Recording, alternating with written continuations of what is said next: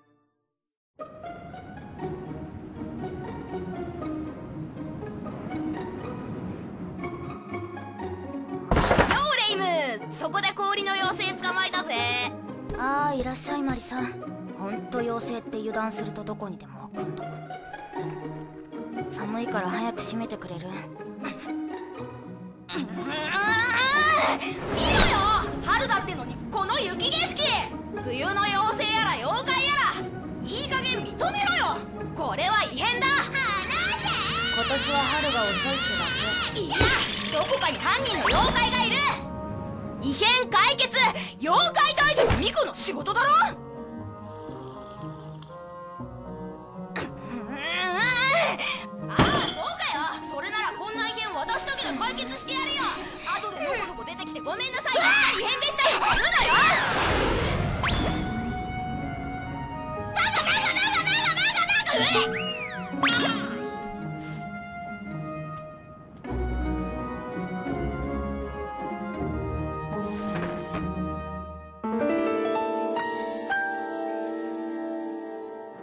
カ切って飛び出してきたはいいが全く見当すらつかないぜ。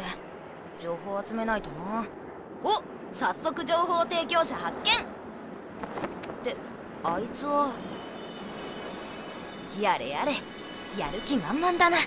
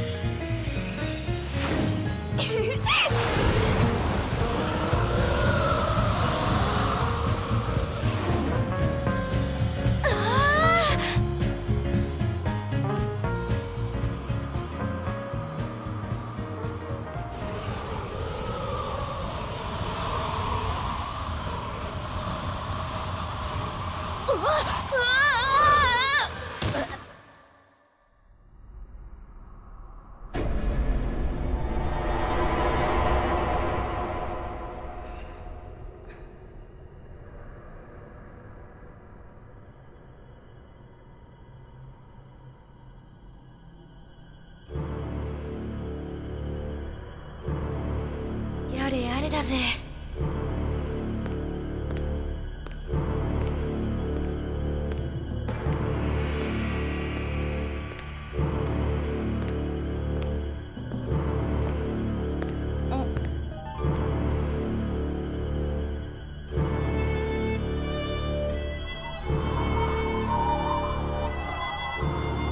ここは冥界。亡霊たちの住まうところ。命ある人間よ。徳お前たちの限界に引き返すがよい。観念しろ半人半霊お前たちの企みは全て調べさせてもらった。さあ春を返してもらおうか。おっと抵抗してくれてもいいぜ。力ずくは大好きなんだ。人間風情が何を言い出すかと思えば白霊の巫女ならいざ知らず一体何様だお前は。霧雨マリサ。普通の魔法使い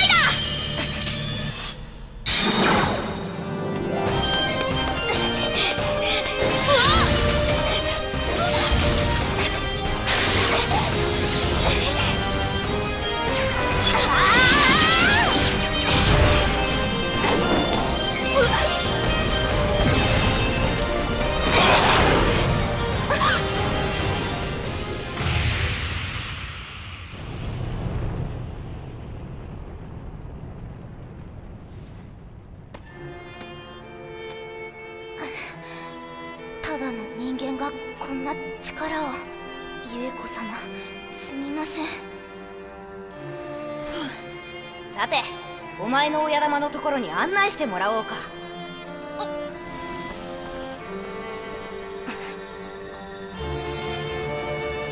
いやそのまま寝てていいぜ。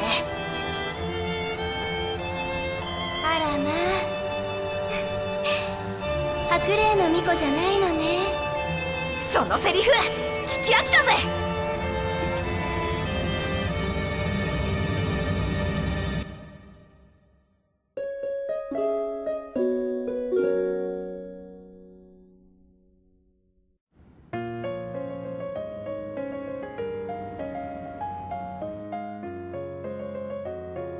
します。こんにちは。あら本当にまだいる。どうしてみんな玄関から入ってこないのかしら。吸血鬼のところのメイドじゃない。今日は一人。お嬢様は寒いので出たくないと。伝言だけ預かってきましたわ。いつまで妖怪の好きにやらしているのか。とのことです。大きなお世話。ああなたの考えもわからないでもないけど。ん何よ幻想郷のバランスを保つのが巫女のお仕事ですものね。そそれもあるわね。でもそろそろ十分じゃないかしら。それを決めるのも私の仕事よ。ごもっとも。伝言は伝えましたよ。白黒の魔法使いは冥界に向かったわ。冥界で死んだら成仏できるのかしら？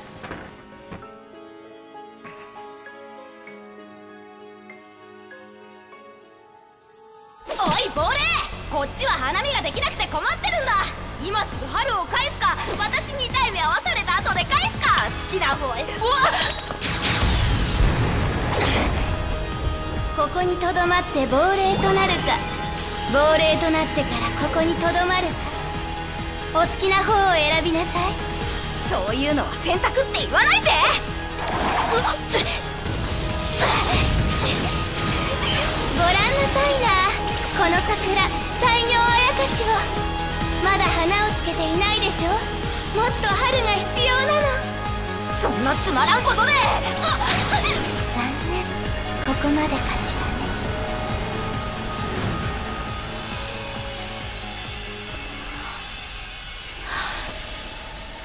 ねくそ美しすぎるぜ。レイムお前今頃。話は後。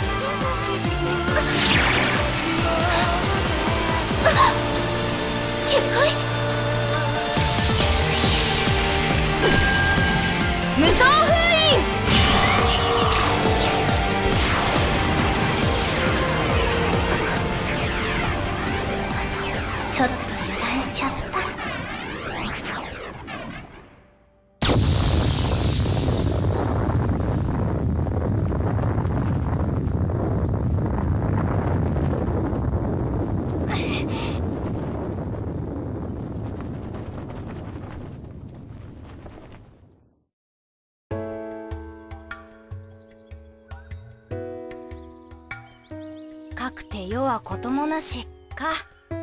まあ苦労はした甲斐があったってもんだな。はあ。だから嫌なのよね。ん。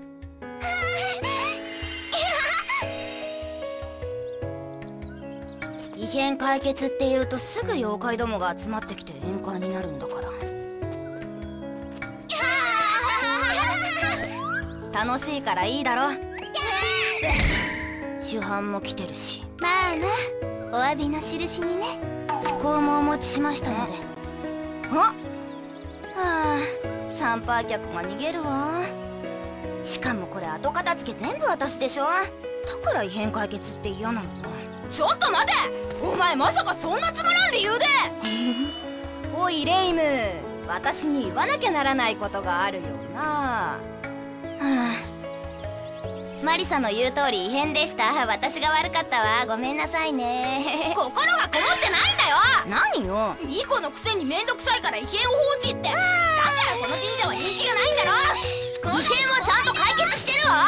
何よ惜しいところばっかり持っていきやがって。結局レイムが異変を解決したようね。そのようですね。なぜだかわかるのだけどねたとえ昨夜が買い物の途中で寄り道しなかったとしてもこの結末は変わらなかったわ。そうだったんですね。さて寄り道の罰は何にするかな。なんなりと。何よ！大体あんた私が行かなかったら危なかったじゃないの。そっちこそ私に何か言う必要があるんじゃないの？ご苦労さん。はあ？大義である。でもいいぞ。なんて偉そうなのよあちょそれ私のでしょ、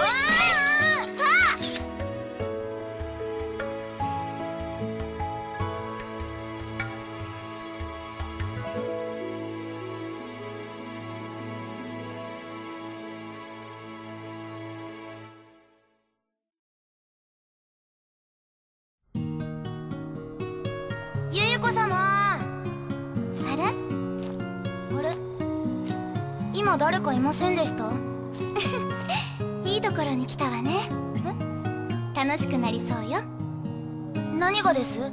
桜は咲きませんでしたし。桜？西行あやかしですよ。あああれはもういいの。探せてはみたかったけどすみません。まさか人間に。いいのいいの。十分楽しかったし。白麗の巫女に気づかれずに済んだしね。はあ話が見えないのですが。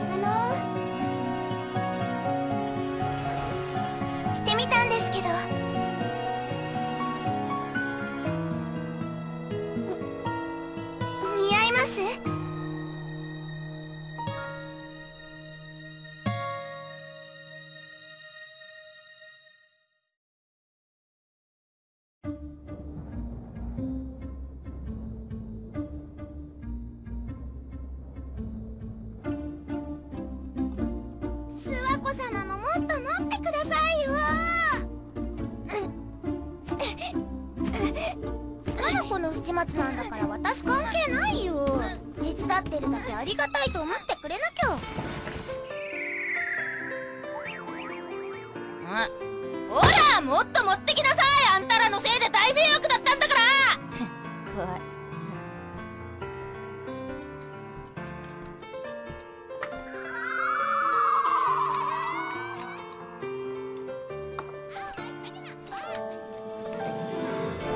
知らせが遅れて申し訳ないね。私たちなりに幻想郷の未来を思ってのことなのよ。謝ってる態度には見えないわね。あの私たち地底の妖怪を招待していただいてありがとうございます。ああこういうのは人数が多い方がいいんだし。悪いのは。悟り様！あたいらは悪くないですよね。ねあんたらが言うなま温泉も湧いたし結果オーライだよな。え後でまた入りに行こうよ。カッパってお湯でもいいのね。月に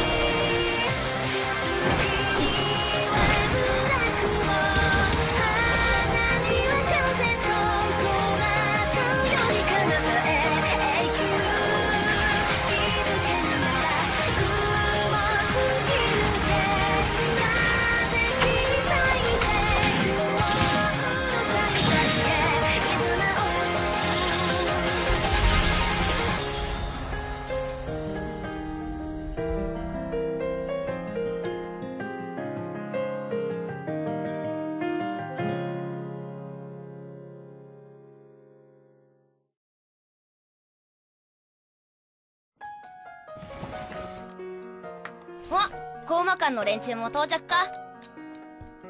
何やってるの？ああ天狗がさっき号外のバックナンバーを持ってきてな。清く正しい社名丸です。どうぞ今日の号外ですよ。あらどうも。いつも助かってるわ。いやーそれほどでも。窓拭きとか。うんうん。靴を濡らした時とか。そうでしょそうでしょ。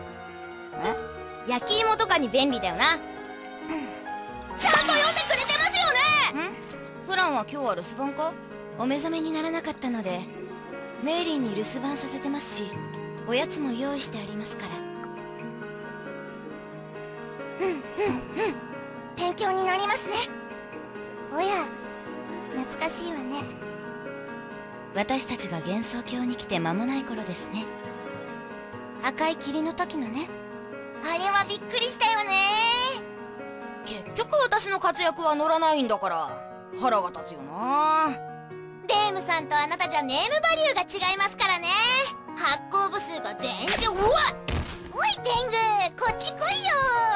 私らの酒が飲めないとは言わないよな。うわいやいやそんなこと言うわけないじゃないですか。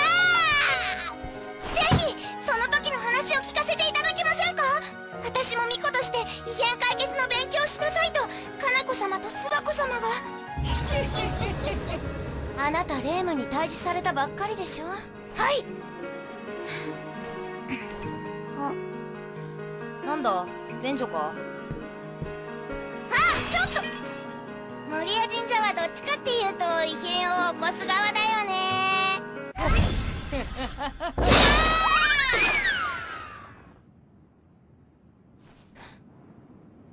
分かってるのよ。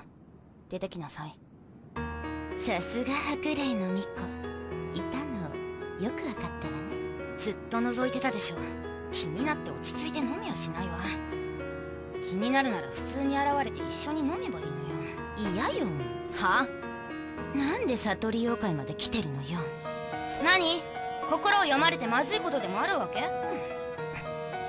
あなたこそ守谷の巫女に話してあげればいいじゃない。仙台編の話なんか忘れちゃったわ。大体あの異変も元はといえばゆかりが逃げた。まあでもあの日のことは考えてみればいくつか腑に落ちないところがありますね。妹様のこととかマリサが来るのが早すぎた。マリサは泥棒に来ただけでしょ。だからそれは誤解だぜ。いい機会ね。レームがいなくなってつまんないところだし。よし！それじゃああの事件の全てを聞かせてやろホラ話は禁止よ。う分かってるって。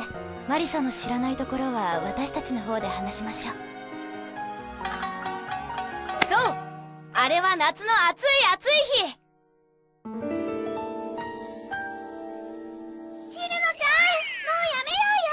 情けむよ震え上がるがいいあたいの真の力に。あすけはあ夏はこれに限るぜ。ちょっと何遊んでるんですか？あれですよ。あれ。湖畔に現れた謎の幽霊屋敷。ほうガセじゃなかったんだな。またえらく豪勢な建物じゃないか。門番の妖怪には取材拒否されましてね。潜入取材を試みたのですが敷地内をいくら飛んでも館にたどり着けなかったりようやく館の中に入ったと思ったら外だったりと怪現象続発なんですよ。そこまでして隠さなければいけないものって何なんでしょうかね。それは一体どれほどの価値のある宝なのか。うん。私は記事さえ書ければいいんですけどね。ちょい覗いてみるか。逃げようと思っても無駄だぞ。お気をつけて。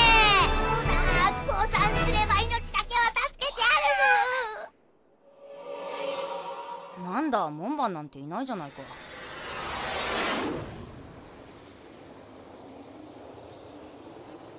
どうやらあたいに恐れをなしたよね危ないよチルノちゃん。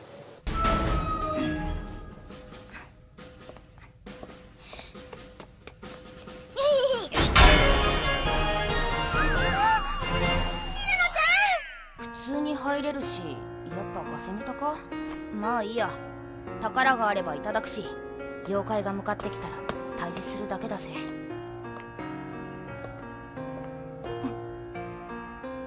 確かにお化け屋敷って風情だが。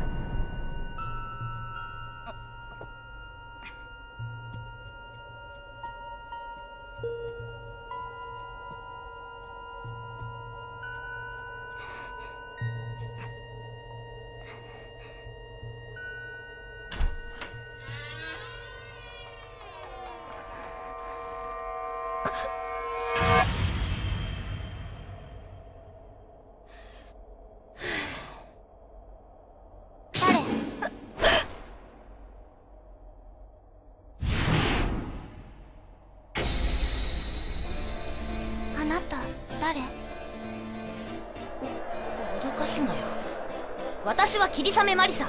探検家だ。あなた人間？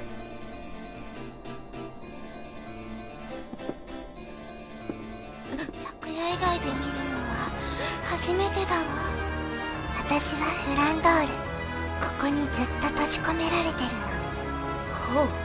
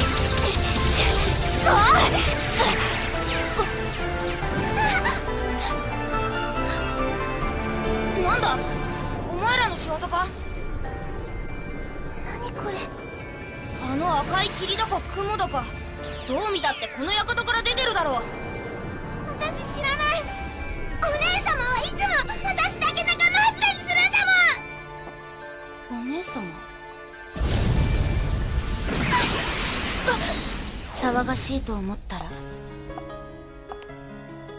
ネズミが入り込んでたのね。パチケン様法ベリーインレイク給水を超えられないという吸血鬼の弱点をついてフラン様を隔離するとは。さすがは大魔法使いパチュリー様。フランそこでおとなしくしてなさい。レミーから言われてるでしょ今はみんな忙しいの。おい魔法使い。あの空は何だ？お前らの仕業か？そうよ。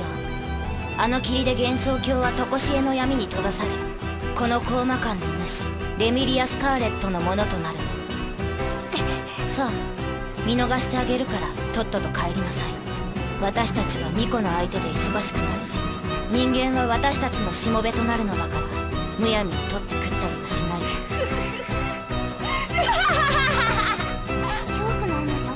っちゃったのでしょうか？人間を舐めるのも大概にしろ！妖怪退治は巫女の先輩特許じゃないし人間だって魔法が使えるんだぜ！この私霧雨マリサがお前らを退治してやる！あれ？さすがは幻想郷ね。子供がちょいとかじった程度の魔法でこの私をどうにかできると思うなんてまったく大した幻想だね何？人間私が本物の魔法を見せてあげる。お前の一生よりはるかに長い研究の先にある世界をね。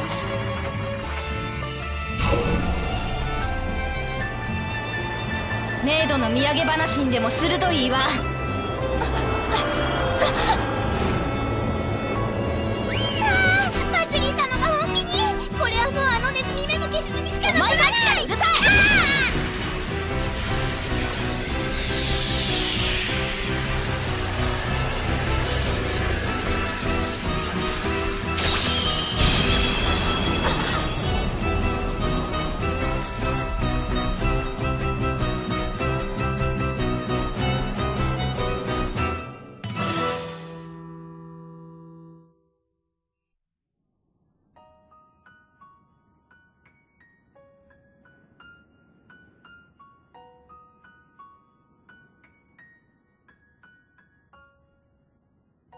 今回の完結戦の異変はゆかり様の適切な介入で通常の異変の範疇に収まりましたが潜在的な脅威度はレミリアの異変に匹敵するものでしたね。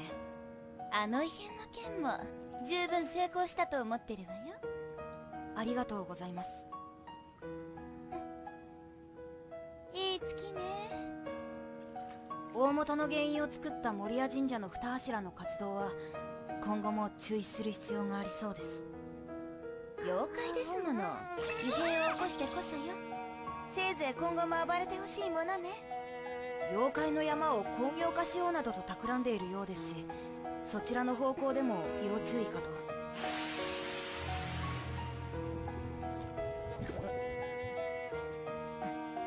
またこれで往来が可能になった地底から今後また有望な妖怪が出現しないとも限りません。こちらも情報を収集していく考えです。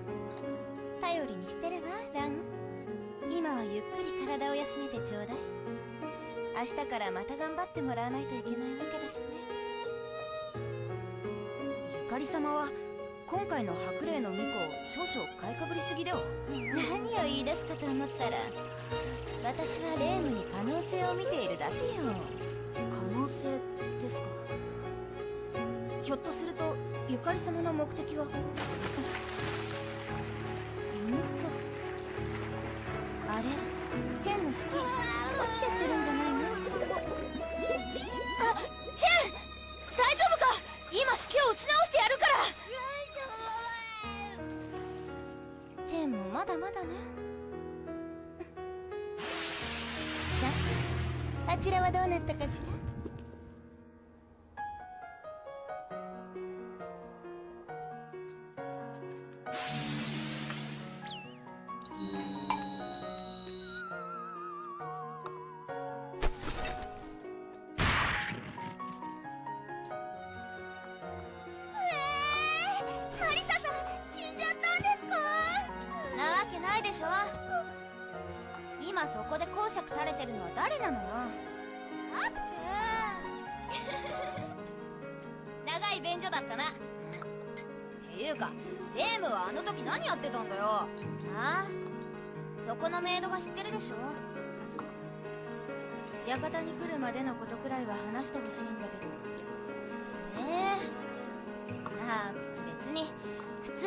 すぐ行っただけよ。ああそういえば途中で妖怪に会ったかな。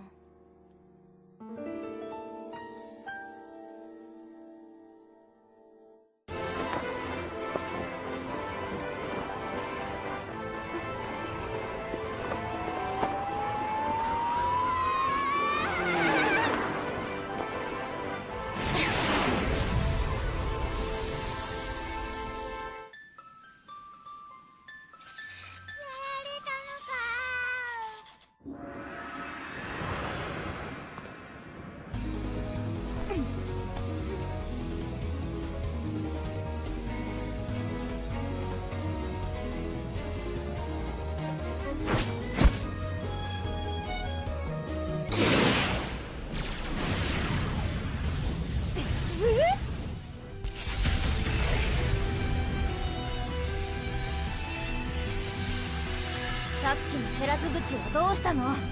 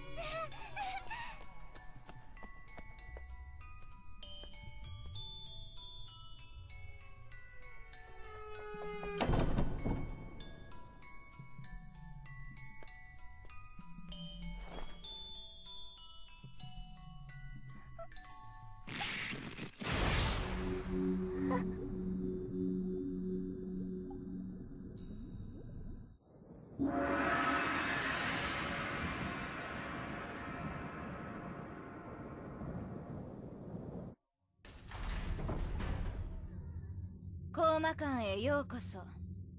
隠れのミコあんた人間？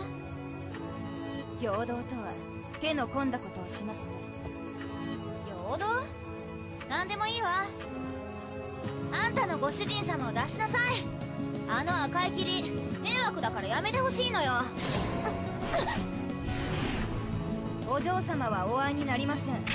代わって私がおもてなしするよう申し付かって。おります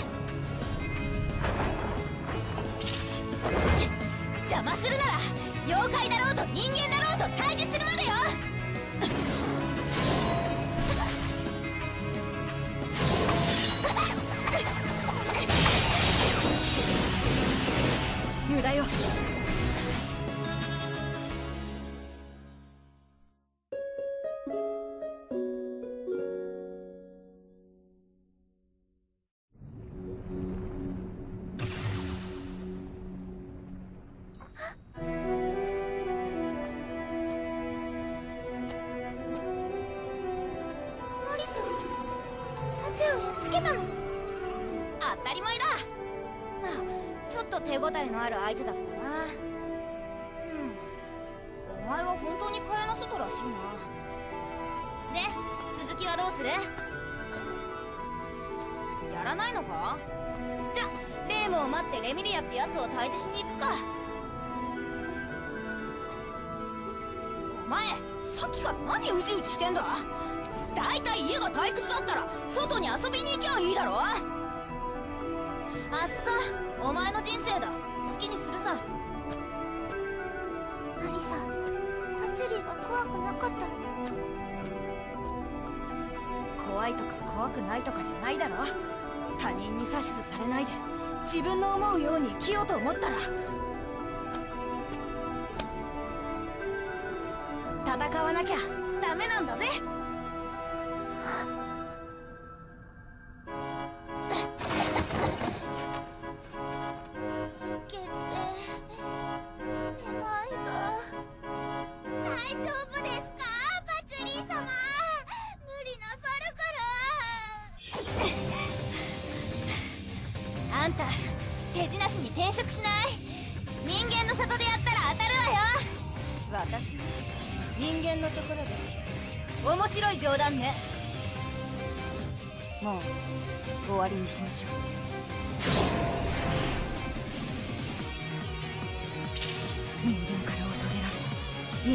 れてきたこの力本気で震えば。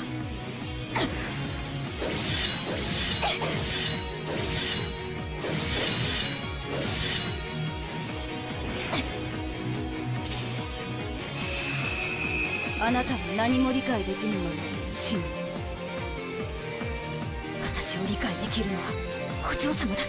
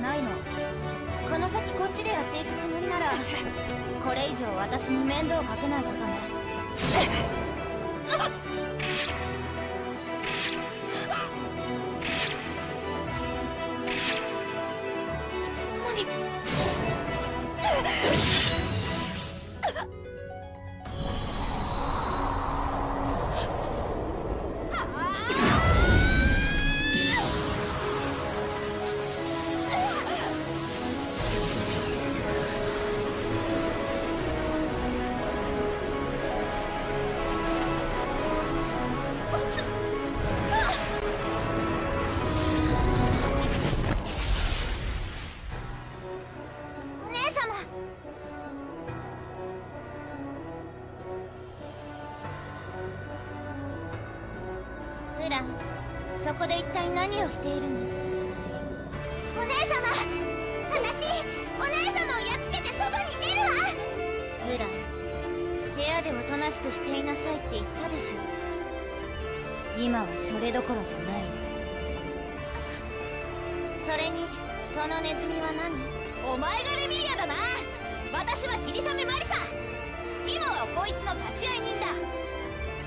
お姉様私本気よ What?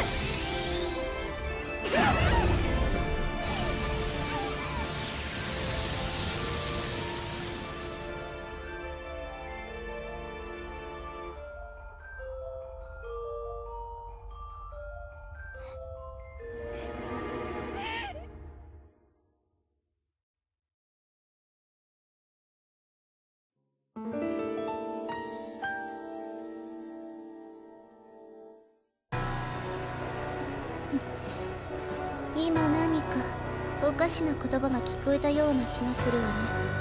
私をやっつけるですって？フラン。自分が一体何を言ってるか分かってるの？そのネズミに何か吹き込まれてもしたのかしら？ネズミじゃない霧雨マリサだ。嘆かわしい。スカーレット家の吸血鬼が人間ごときにそそのかされるなんて。恥を知りなさい。だからお前らはなんでそんな偉そうなんだ？よ私お姉様の言うことを聞いてずっといい子で我慢してきたの。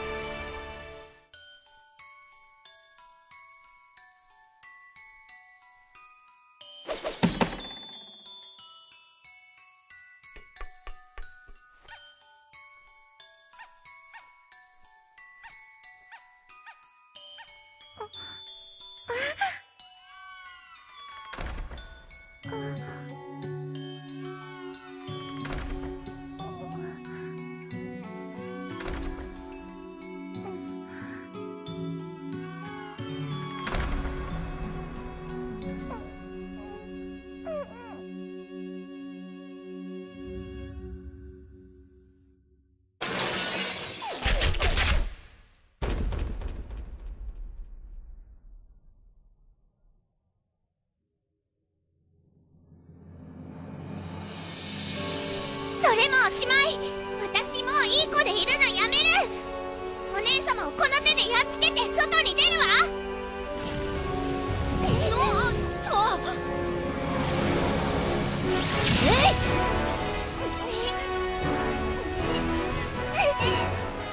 どうやらお仕置きが必要のようね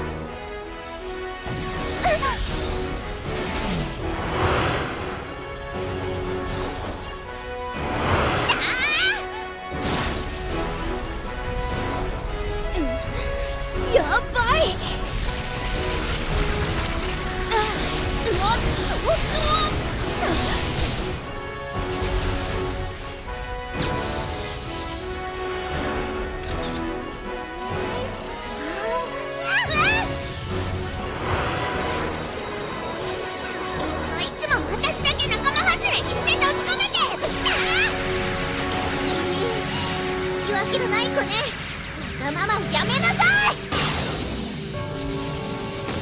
私もお姉様の言いなりにはなれないわ。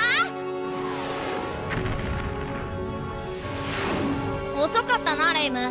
手出しは無用だぜ。これはあいつの戦いなんだ。マリサここで何をやってんの？っていうか何あれ？あれが異変の主犯ちはその妹だ。はあ？あいつが主犯を退治してくれるってわけ？まあ結果的にはそういうことになるのか？お姉様の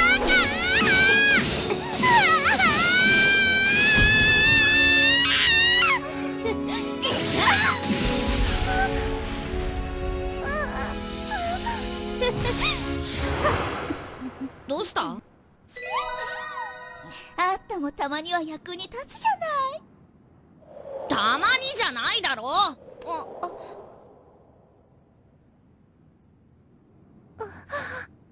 フラいつの間にかこんなに大きくなってたのね。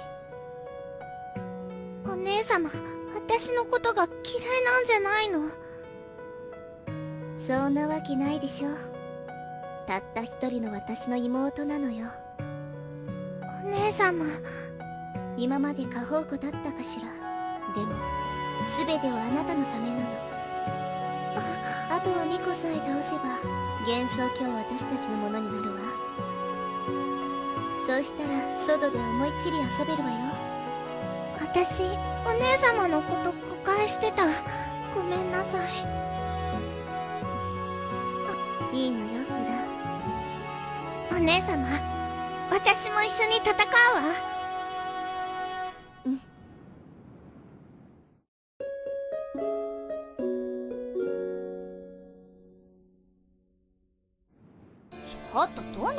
あれ。待たせたわね白霊の巫女。幻想郷をかけて決戦と行きましょう。今からやっつけてやる。うわなんだもう終わりか。ま自分で決めたことならこれもありか。ありがとうマリサさあさっきの続きをしましょう。望むところだ。受けて立つぜ。あんたやっぱり余計なことしかしないわね。大丈夫だって。私とレイムが組めば敵なしだぜ。ちゃんと合わせなさいよ。改めてご挨拶するわ。私はこの講和館の主にして誇り高き吸血鬼レミリア・スカーレットそして私の妹。フランドール・スカーレットよ。私は自己紹介済みだぜ。ハクレレイム知ってるみたいだけど隠れの巫女で妖怪退治が仕事。言わなくてもわかると思うけどあんたらの出してるあの霧迷惑だからやめてちょうだい。今すぐ。私たち吸血鬼の弱点が太陽の光だって知ってるでしょ？あの霧はそれを遮るためのものもはやこの幻想郷に用は刺さない。そう。つまりこの幻想郷は手に落ちたも当然隠れるにお前さえ倒せば。あらそう。つまり私に退治されたいのね。そうなんじゃないかと思ったわ。さあ決戦といきましょう。白蓮巫女勝者が手にするのはこの幻想郷の全て。そんな面倒なものいらないわよ。あんたらが迷惑だから退治する。それだけよ。行くぜレーム。行きましょうお姉様。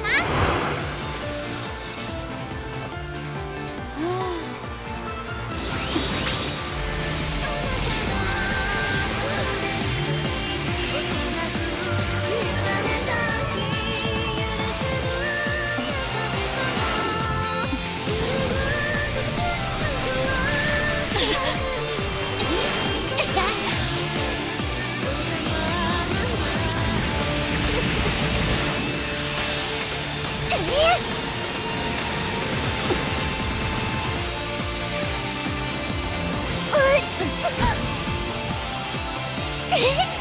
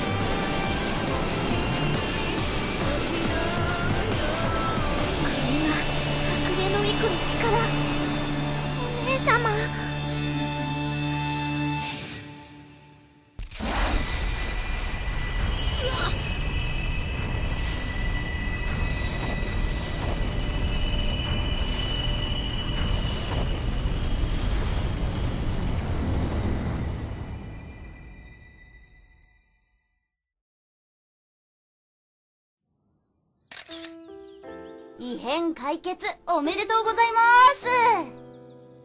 ほらほらこっち向いてくださいよ。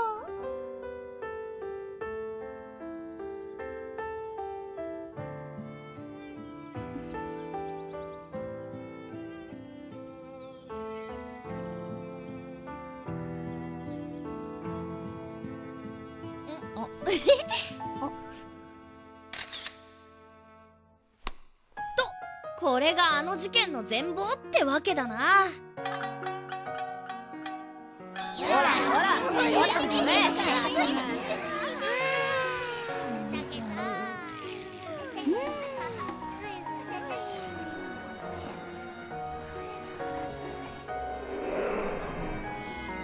これでいろいろ納得がいったわね私はちっとも納得してないけどな私の話は少し恥ずかしかったけど。いい話のようなそうでもないような。勉強になりました。ありがとうございます。今の話の何をどう学ったの？よあれから想像しいやつが来るようになって迷惑してるわ。あんだけの本お前一人しか読まないなんてまさに死蔵だぜ。私が読んでやらなきゃかわいそうってもんだ。泥棒あ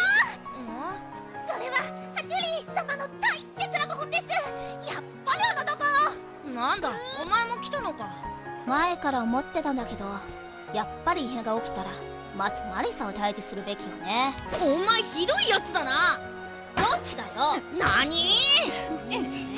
バチも友達が増えてよかったわね。私たちの運命は幻想郷と共にある。さっきはもこっちに来てよかったでしょ？ええ本当に。お嬢様もあれから妹様と仲良くなられましたね。あら私とフランは元から仲がいいわよ。お姉様！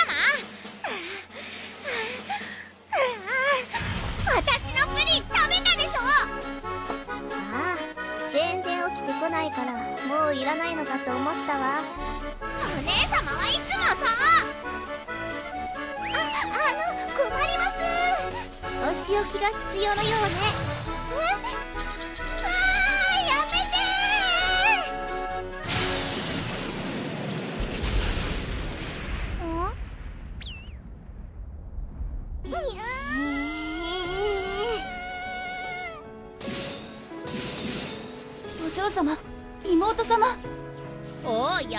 やってる。本当に。仲良くなられて。おかげさまで。フラン様もすっかり明るくなって。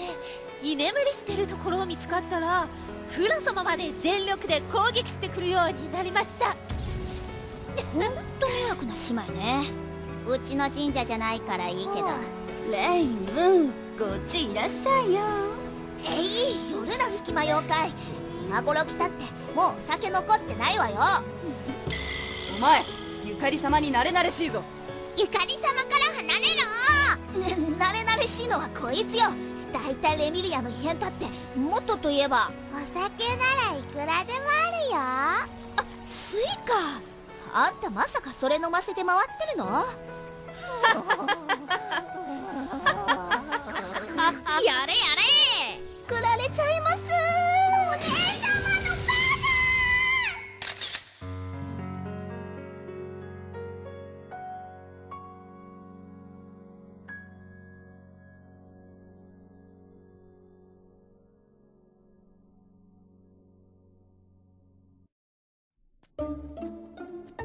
あーひどい目にあった。やっぱ触らぬ神にたたりなしかな。でも虎穴にいらずんば孤児を得ずとも言うしな。あ。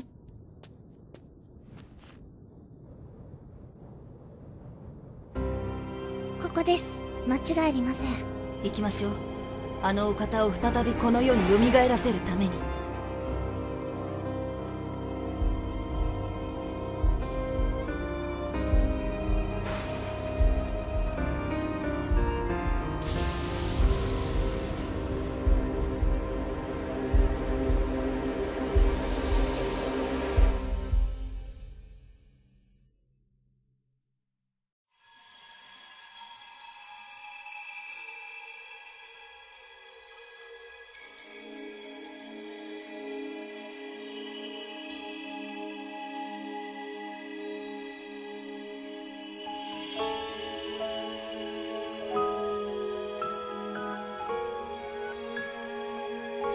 ぶりにこちらに来てみればこのありざまとはこれはどうあっても思い知らせなければ。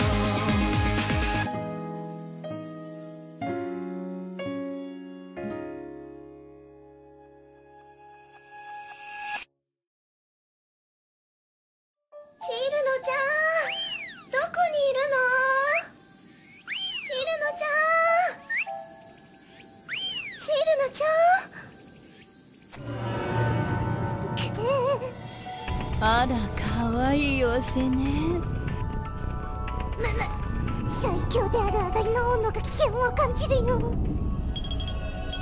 あらどうしてかしら？不思議ね。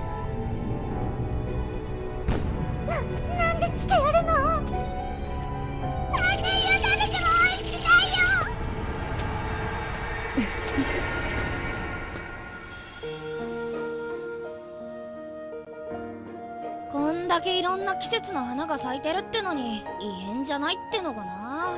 調べて納得いったんでしょ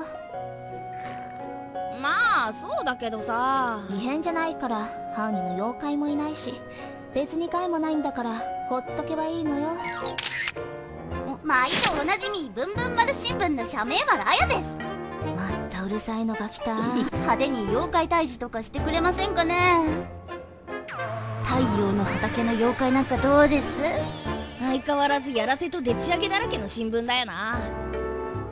面白くない記事を書くなんて私の保険に関わります。事実を書けよ。何でもいいけど私は妖怪退治には出ないわよ。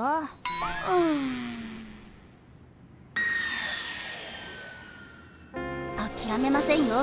私のジャーナリスト魂で何としてもこの異変を記事にしてみせます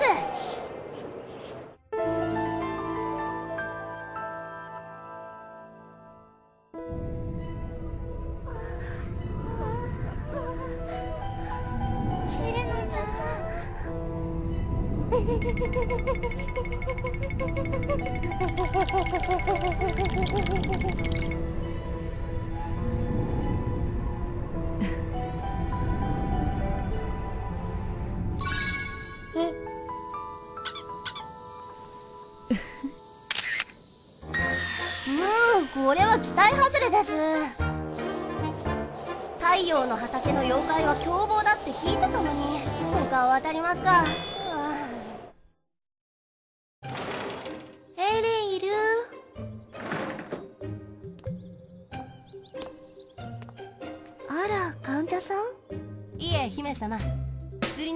の仕入れです。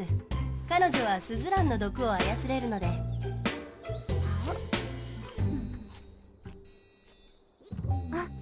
これも美味しい。毒というのは使いようで薬になりますからね。ほらここに。あれ？レイを探してるのだけど。どこか知らない？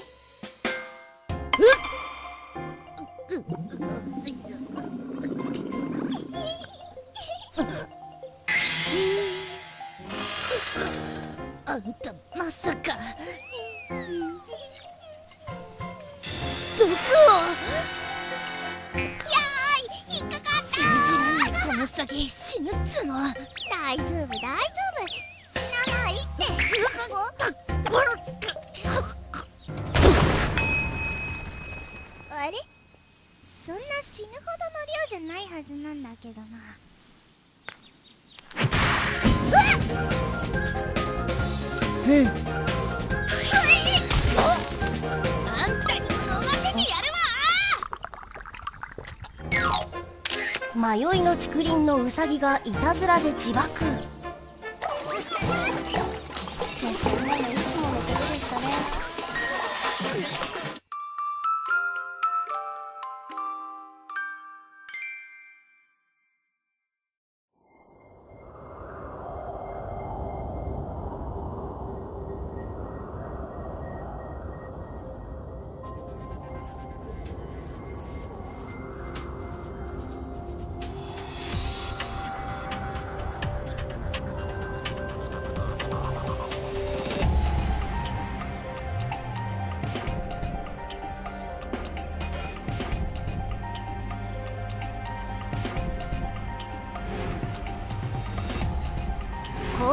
再び高魔館の幻想郷征服会議。これです。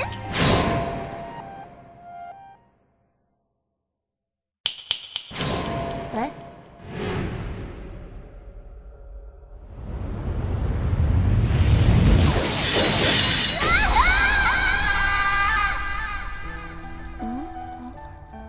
何か聞こえなかった？虫か何かでしょう。虫ねそういえばパチの薬草へむやみに花が咲いているようだけど。ああれね。調べてみたんだけど幽霊が花を咲かせているみたい。たまにそういう年があるらしいわ。実害はないわよ。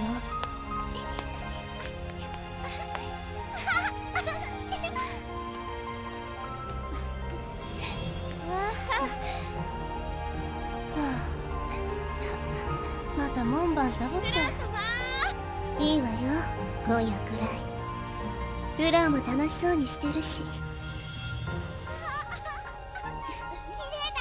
ねえさくやいろいろあったけどやっぱり幻想郷に来て正解だったわね。はい。お嬢様。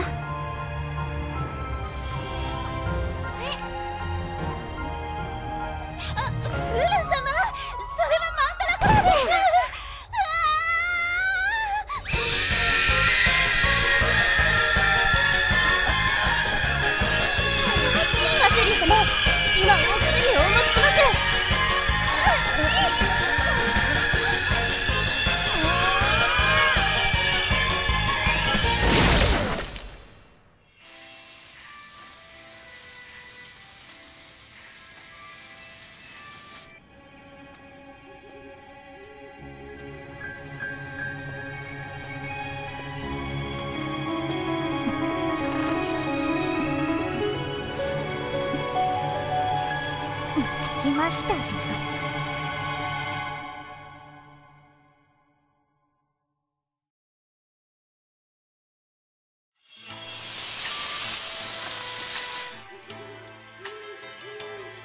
ごちそうさま。美味しかったよ。あ館長ここに置きますね。毎度。あ食った食った。そりゃあ私は未熟者ですよ。でも。ヨウムは黙って私が言う通りにしていればいいのよ。なんてひどすぎませんか？ああわかるわかる。でしょあたいの上司もうるさいおひどでさお互い大変だね。よし今夜は飲もうよ。小町。またサボっていつまで経っても霊を運んでこないから見に来てみればこの低たらく志願が幽霊だらけ花だらけの今こそサンズの川の船頭がいつも以上に働かねばならない時だとあなたも分かってるはずでしょ。すいません貴様。今すぐ仕事に戻ります。ええ説教後でたっぷりしてあげます勤務終わりに私のところへ来なさい。お客さんお母まったくもう。そんじの子はうーん。これはいいところで会いましたね。コンパクヨウム。私はエンマ例の罪の重さを測るものです。コンパクヨウム一度あなたときちんと話をしなければならないと思っていたのです。ええ地獄のエンマ様。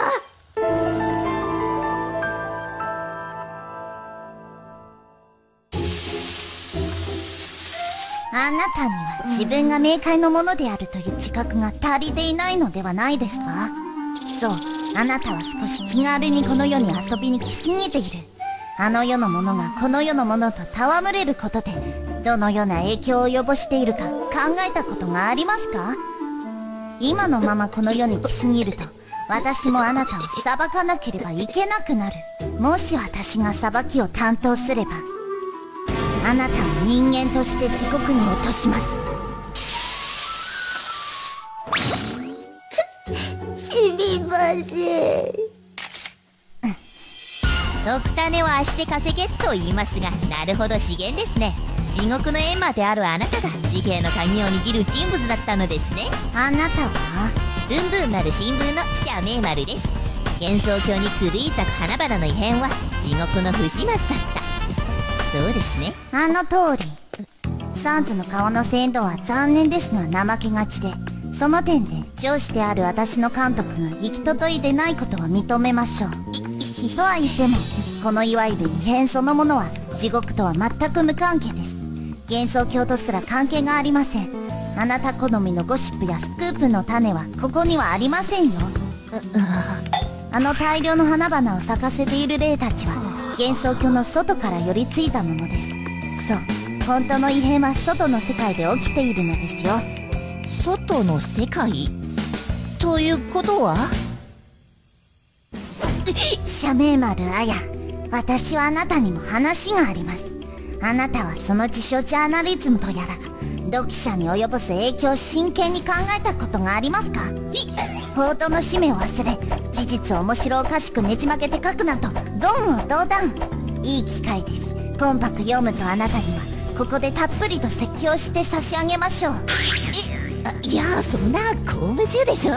お仕事のお邪魔しちゃ悪いですしね。私は今日は非番です。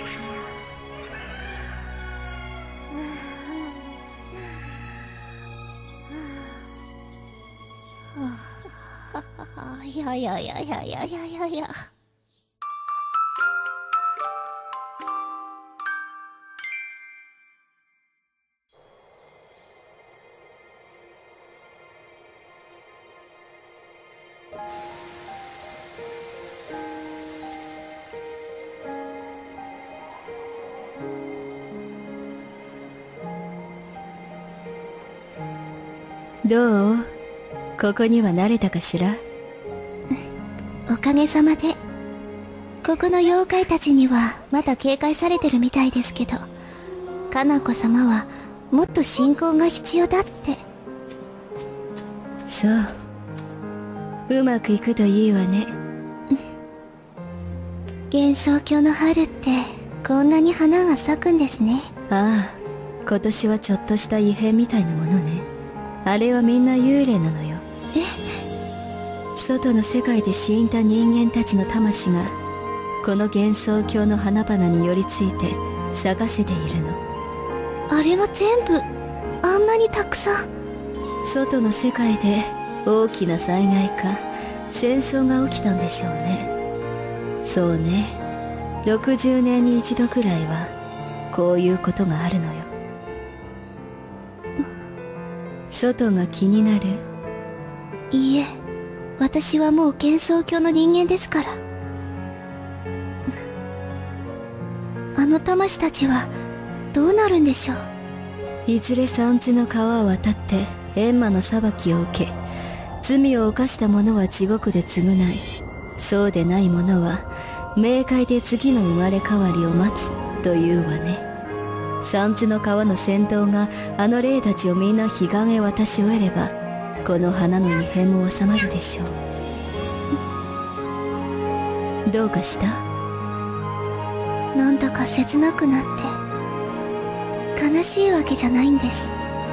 ただ死んでも帰れるところがあるんだなって。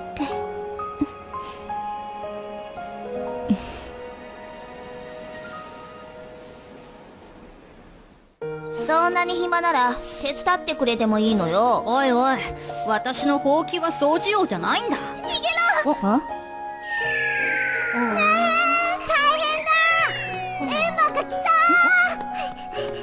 エンマしごくのか？何しに？あいつ説教が趣味でさ非番の日にはこっちに説教しに来るんだ。捕まったか最後丸一日ぶっ通して説教され私説教されるようなことしないわよ。あいつ鏡見てこっちの異教種に盗賊全部見てるんだ。必ず隙を見つけて説教してくる。しかも正論ばっかだから反論できないし。鬼の力で何とかしろよ。エーマなんだってば。やっつけられたとしても死んだらあの世であいつに裁かれるんだよ。地獄行きにされるのが落ちたって。生きてる限り勝ち目なしか。なるほどそれはもう逃げるしかないな。やばいもう来た。またなレム。あんただけ逃げようって。そうはいかないわよ。うわまたすごい嫌がってますね。別に喜ばれるためにやっているわけではありません英貴様がこうして説教して回ってるのは志願の連中の死後の罪を少しでも軽くしてやるためなんですよね。大丈夫ですって。英貴様がみんなにやられててもあたいだけは分かってますかいらぬ心配です。とっとと自分の仕事に行きなさい。はい。行ってきまーす。まったく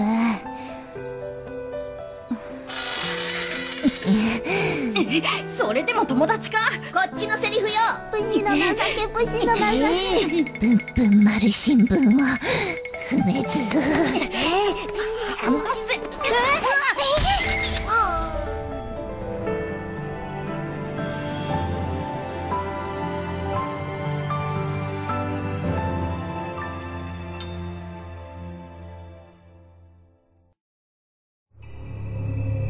時は満ちたおお久々にやる気じゃない。昔を思い出すね。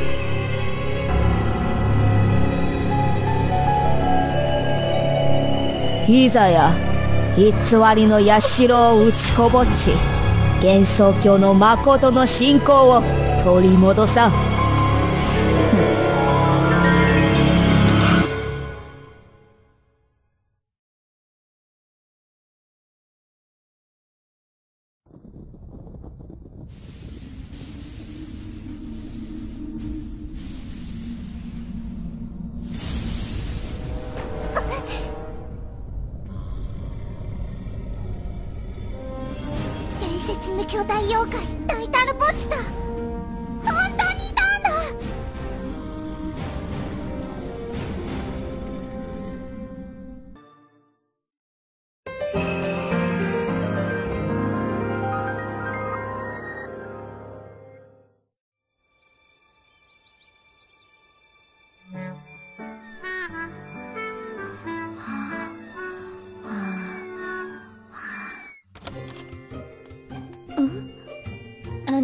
確か。チルノちゃんを見ませんでした？チルノってあの氷の妖精の？はい。実は。え？その巨大妖怪を探しに行くの？チルノちゃんもうそういう危ないことやめようよ。危なくないよ。あたい最強だから。この通り。だからそれはかわいそうだよ。ねえ危ないからやめてよ。あたい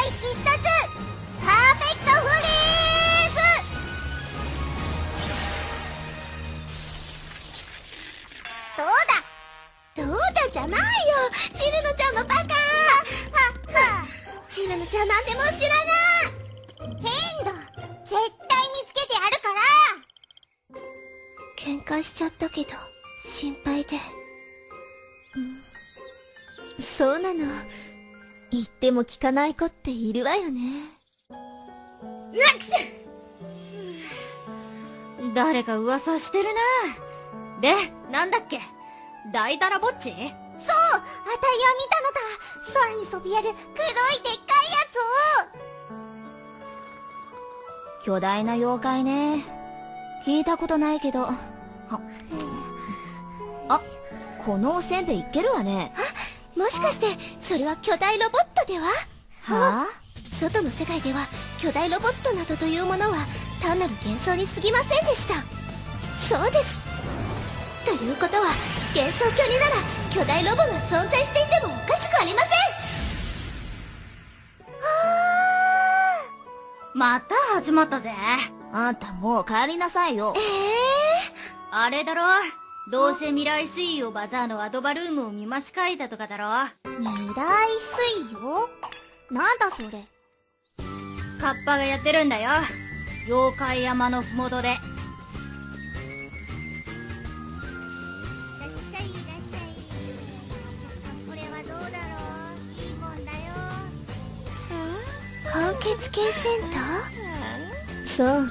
間欠泉の異変の後にカッパが作ったの地底のエネルギーを利用していろいろ。例えばアドバルーンを動かしたりしてるっていうわ。あなたのお友達が見たのはきっとそれだと思うの。あれじゃないとすれば。じゃあ危なくないの？アドバルーンはともかくエネルギー源はヤタガラスつまり太陽の力を持つ妖怪なの。氷の妖精にとっては最悪の相性ね。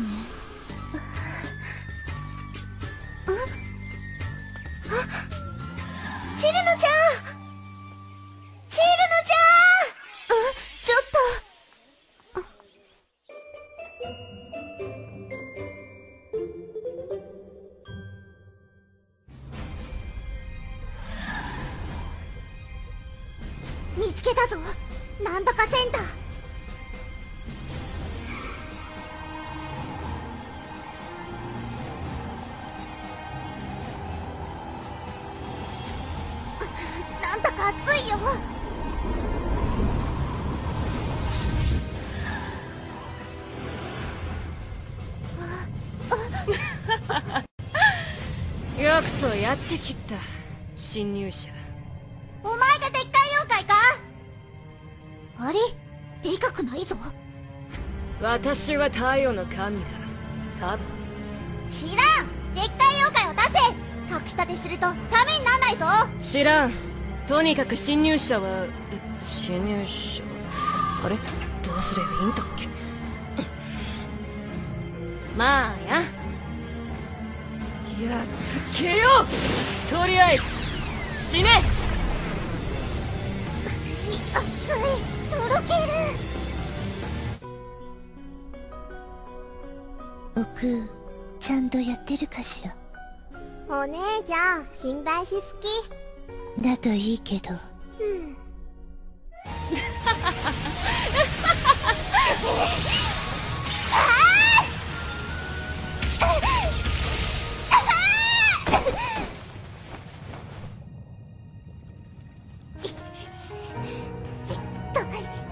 大太の墓地を見つけるんだ。そうすればきっと大ちゃんも喜んでくれるんだ。ああチルノち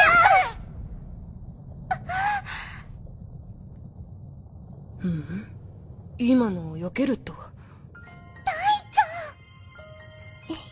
二人で力を合わせれば。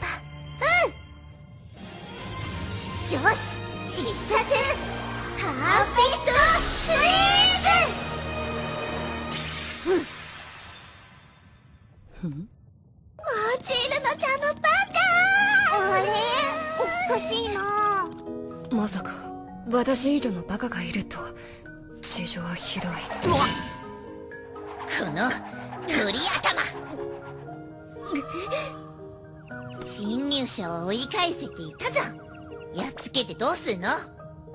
そう言われればそうだったかも。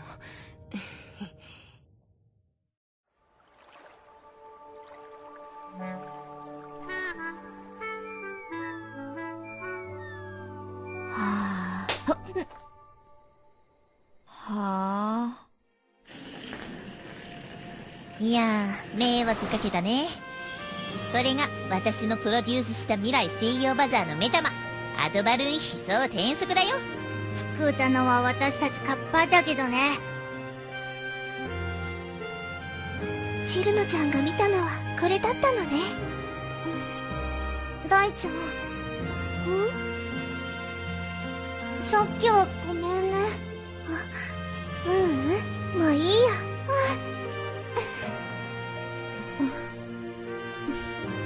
ありがとう大ちゃん。あたいたちずっと友達でいようね。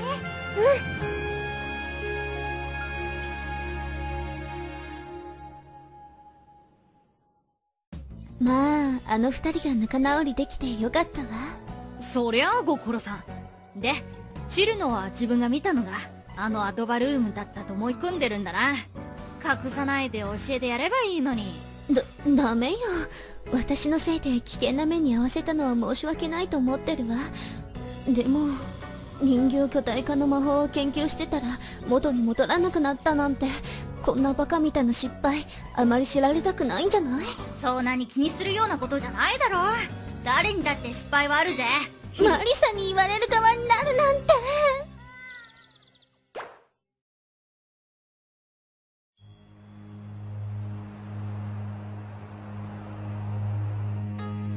すべてエイリーに任せますは。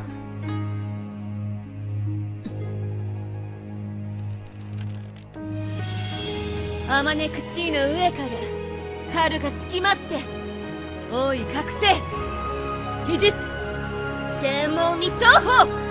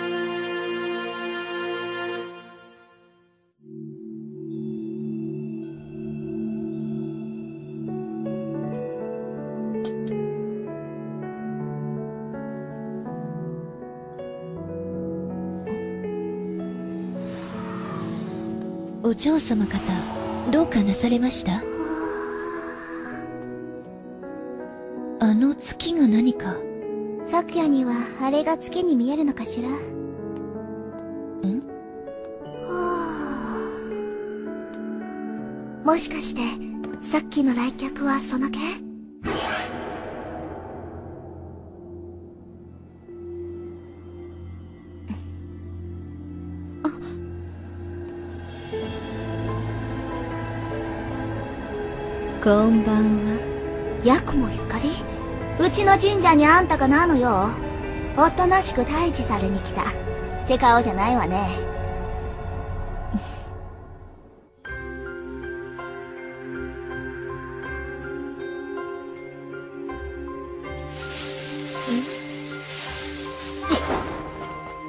行きましょう。異変の影響でしょうか。確かに警備は手薄になっているようです。満月の夜ってこんなに明るいんですね。あっちでは全然気づきませんでした。慌てなくていいわよ。まだまだ夜は明けないって言ってたから。本当に全然朝になりませんね。地球の地点はどうなってるんでしょう。幻想郷は本当に不思議なことばかりですね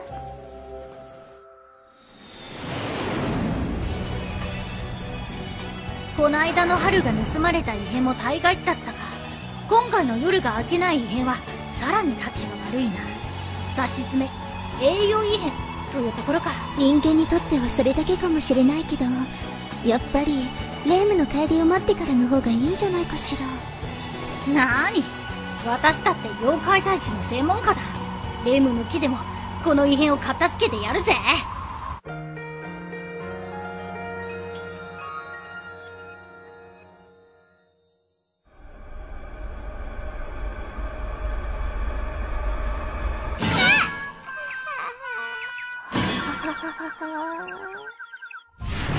な異変の夜に人間の里に妖怪を立ち入らせるわけにはいかない。たとえその人形使いでもだ。用心深いことねケーネ先生よ待ってたって夜は明けないぜ私らはその異変を解決しようとしてるんだほう。それなら一足遅かったな、マリサ。ちょっと前に、レームが迷いの竹林の方に向かったぞ。それで留守番だったのね。レムにしちゃ珍しく行動が早いな。迷いの竹林に入ったら迷って出られなくなるって言うけどレイムと交流できる当てはあるの？犯人を探してれば当然出会うさ。よしレムより先に見つけてやるぜ。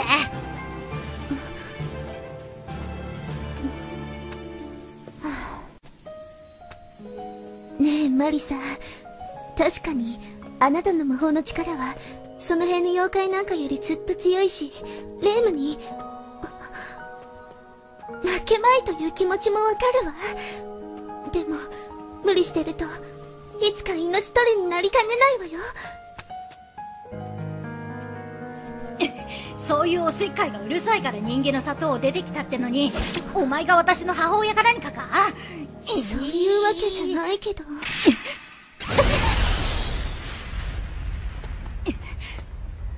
出たな。妖怪。あ？は？ご挨拶じゃないか。レム。紛らわしいわねマリサ。それにアリスまで。ここで何をやってるのよ。もちろん。妖怪退治に決まってるぜ。レーム遊んでたら終わらないわよ。百もゆかり待ってレム。ゆかりは敵だろ？なんでそこにいるんだ？あハンターには関係ないでしょ私は忙しいんだから邪魔しないで。関係終わりだ。百もゆかり隙間妖怪のお前の能力は物事の境界を操作することだ。お前昼と夜の境界をいちったな。この明けない夜はお前の仕業だ。いかにもその通りよよくわかったわね。何バラしてんのよ？まさか巫女なのに異変に加担するなんて。見損なったぜレーム。あのね私にだって。知られてしまったからには仕方ないわレームやっつけちゃいなさい。抜かせ。お前もレームもまとめて退治してやるぜ。そうすれば異変解決だ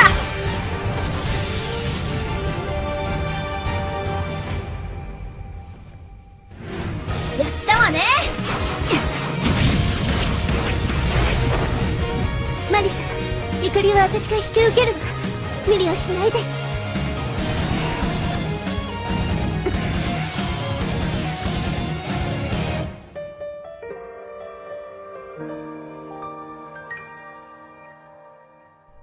どうやら敵にも知恵者がいると見えますね。ウートン家で予定通りなさい。決して敵を姫様に近づけぬように。お任せください師匠。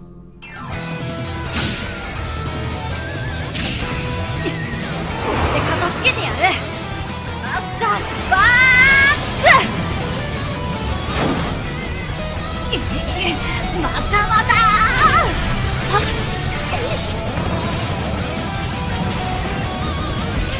やった。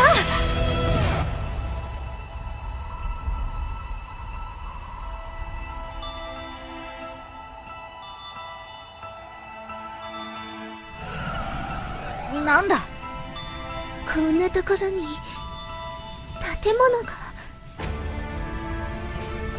大当た。りここよレー。ムほんとマリサとバカやってる場合じゃないわね。避けてたのかよ。マリサ一時休戦。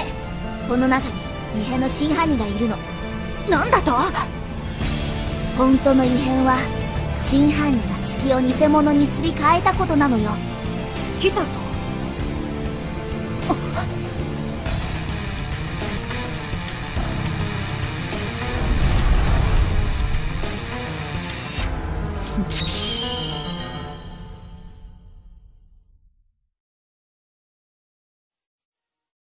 赤く燃える永遠の命やその胸自然に今優しく触れるから